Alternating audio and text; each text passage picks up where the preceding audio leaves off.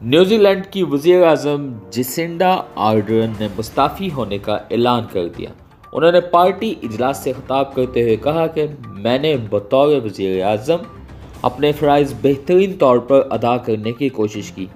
अब वो वक्त आ गया है कि मैं वज़ीर अजम का मनसब छोड़ दूँ। वजी अजम जसिंडा आर्डन सात फरवरी तक अपने फ़्राइज सर अंजाम देंगी।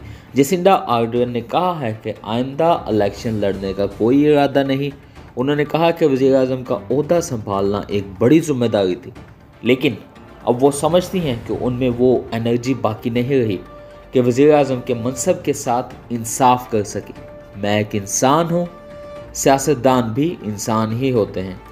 जब तक हम कुछ कर सकते हैं तो अपना सब कुछ देते हैं। एक ऐसा वक्त आता है जब आपको इन सबसे अलग होना पड़ता है।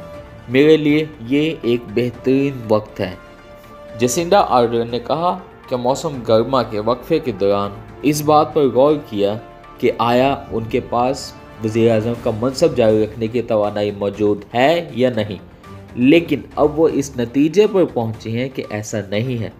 जसिंडा आर्डन ने 2017 में सैंतीस साल की उम्र में मनसब संभाला और दुनिया की कम उम्र तरीन वज़ी अजम होने का एजाज़ हासिल किया और इनकी काविशों को, इनकी वजारत उज़मा को पूरी दुनिया में सराहा गया। न्यूजीलैंड में इंतबात रवा साल अक्टूबर में होंगे, लेकिन जसिंडा आर्डन उन इंतबात में हिस्सा नहीं लेंगी। और उन्होंने वजारत उज़मा से मुस्ताफ़ी होने का ऐलान कर दिया है। जसिन जेसिंडा आर्डन अगले माह सात फरवरी को न्यूजीलैंड की वजारत उज़मा और लेबर पार्टी के अहदे से सुबकदोश हो जाएँगी।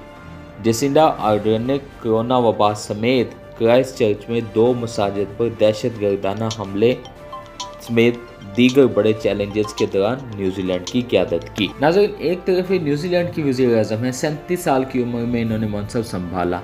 अब 43 इयर्स की उम्र में अपना मनसब छोड़ने के लिए कह रही हैं और ये कहती हैं कि मैं मज़ीद नहीं कर सकती। कोई सियासत की भूख नहीं, कोई कुछ नहीं। इसके बरक्स अगर हम अपने पाकिस्तानी सियासतदानों को देखें तो हमारे कुछ सियासतदान ये कहते हैं कि हमारा जीना मरना ही सियासत है। मरते दम तक सियासत करेंगे। कुर्सी से चिपक जाते हैं, छोड़ते ही नहीं। कुर्सी के ऊपर बने रहने के लिए क्या कुछ नहीं कर जाते? हर चीज़ जायज़ होती है इनके लिए। और अगर कोई बंदा सही मानों में मुल्क को सर्व करने की ठान ले तो ये लोग उस बंदे को सर्व करने ही नहीं देते, इतनी मुश्किल खड़ी कर देते हैं, इतने प्रॉब्लम्स क्रिएट कर देते हैं कि वो बंदा डिलीवर ही नहीं कर पाता।